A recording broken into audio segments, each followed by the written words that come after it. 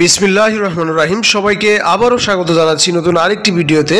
Welcome to screen print world আপনারা যারা এই চ্যানেলটিকে এখনও সাবস্ক্রাইব করেননি, তারা অবশ্যই সাবস্ক্রাইব করে নেবেন এবং পাশে থাকা বেল আইকনটি বাজিয়ে দিবেন। আজকের ভিডিওতে থাকছে মাল্টি কালার ফ্রক একই প্রিন্টের মাঝে। আপনি বিভিন্ন ফ্লক শেড কীভাবে নিয়ে আসবেন, আমরা এটি নিয়ে আলোচনা করব। আপনি দেখতে পাচ্ছেন মাল্টি ফ্লক স্ট্রাইক অফ। আমরা যে স্ট্রাইক অফটি দেখতে পাচ্ছি, সেই স্ট্রাইক অফটি একটি অ্যাপ্রুভাল স্ট্রাইক অফ। সো আমরা এটির সাথে মিলিয়ে প্রিন্ট করব। এখানে চারটি কালার আছে। আমরা এই চারটি কালারের ফ্লক শেড কীভাবে তৈরি করি, চলুন শুরু করি। আপনারা দেখতে পাচ্ছেন এমসি দুইশো পঁয়ত্রিশ ক্লিয়ার পেস্ট এটি সিএসটি ব্র্যান্ডের আমরা প্রথম লেয়ারটি করা শুরু করেছি।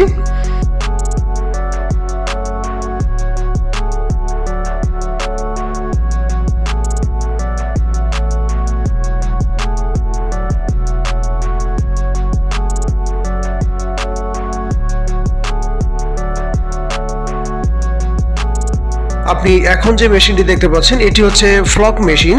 এটি হচ্ছে ফ্লক রাখার বক্স। আর এখানে নিচে সুইচ, যখন আমরা ফ্লক অ্যাপ্লাই করব, তখন এখানে সুইচগুলি অন করে দিতে হবে। তো আমি এটার সিপিগুলি লাগিয়ে দেখাচ্ছি। আমরা এখন এমসি ক্লিয়ারের থার্ড লেয়ারের লাস্ট রাউন্ড আমরা প্রিন্ট করব। তো আপনি দেখতে পাচ্ছেন আমরা লাস্ট রাউন্ড প্রিন্ট করতেছি। এটি হচ্ছে এমসি ক্লিয়ার তো আমরা এটি অ্যাপ্লাই করার পর আমরা সরাসরি ফ্লক অ্যাপ্লাই করব হোয়াইট ফ্লক আপনি দেখতে পাচ্ছেন হোয়াইট ফ্লক আমরা অ্যাপ্লাই করতেছি বডিতে। আমাদের এখানে এমসি ক্লিয়ার দুশো পঁয়ত্রিশ এটি তিনটি লেয়ার দেওয়ার পর আমরা হোয়াইট ফ্লক অ্যাপ্লাই করতেছি।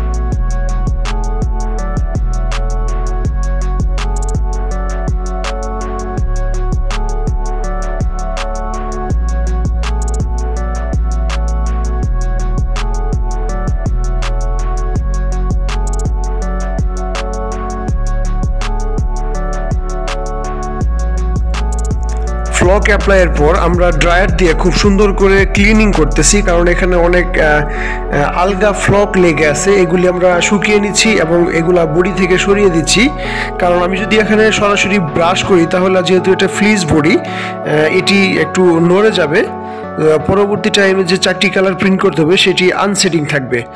তো আমরা ইয়েলো কালার হোয়াইট ফ্লকের উপর আমরা ইয়েলো কালার প্রথম করব।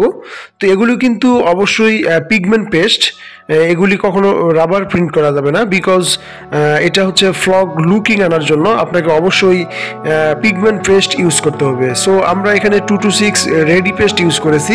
আপনি চাইলে এখানে পিজি উইথ বাইন্ডার ইউজ করতে পারেন। আমরা এখন light grey second colour use করব, সরাসরি হোয়াইট ফ্লকের উপরে।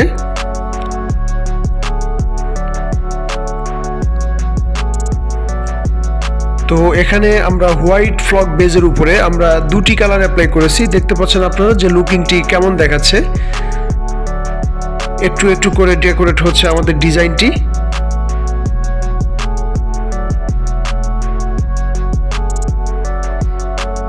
আমরা এখন dark green third colour use করব।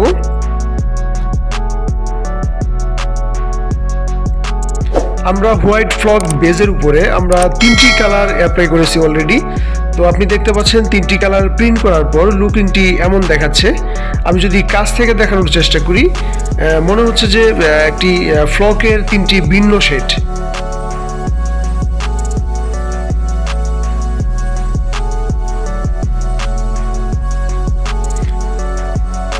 আমরা লাস্ট কালার নেভি কালার আমরা ইউজ করব এখন। এখানে সবগুলি কালারই পিগমেন্ট তো আপনি দেখতে পাচ্ছেন আমাদের প্রিন্ট করা শেষ হয়ে গেছে। এখন লুকিংটি এমন দেখাচ্ছে। এটি হচ্ছে আমরা যখন প্রথমে আপনাদেরকে স্ট্রাইক আপ দেখিয়েছিলাম, ঠিক স্ট্রাইক আপের সাথে একদম হুবু হুবু মিলে গেছে।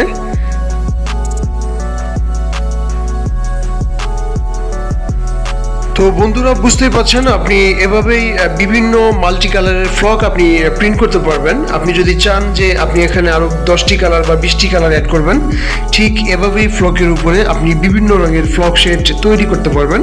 আমরা প্রিন্ট শেষ করে ফেলেছি। আজকে এ পর্যন্তই।